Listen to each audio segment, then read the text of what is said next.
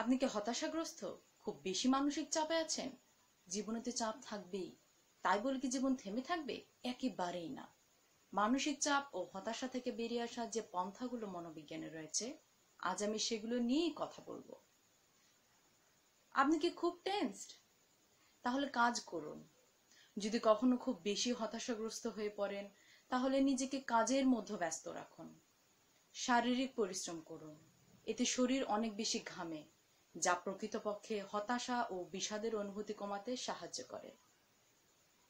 কাজ করলে শরীর ও মন দুটোই ব্যস্ত থাকে, আর এই ব্যস্ততা সকল নেতিবাচক চিন্তা ও অনুভূতি কমাতে সাহায্য করে।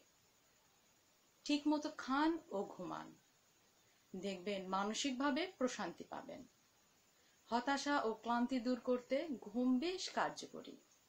বিরতি নিন। হতাশার প্রভাব সম্পূর্ণ জীবনযাত্রার উপরই পড়ে।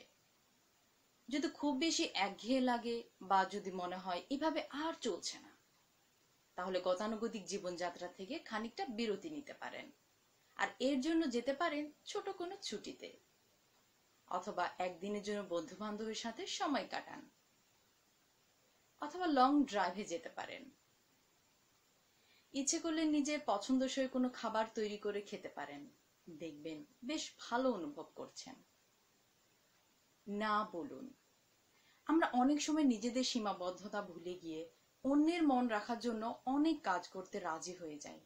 এমন কাজ করা মোটেও ঠিক নয়। কেননা এই জন্য অযথা চাপ সৃষ্টি হয়।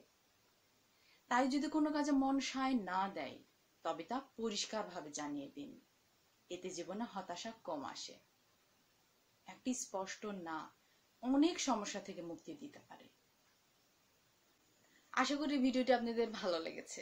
এই বিষয়ে কারও কোনো মতামত থাকলে বা কোনো কিছু জানার থাকলে কমেন্টসে জানাতে পারেন। সবাইকে ধন্যবাদ।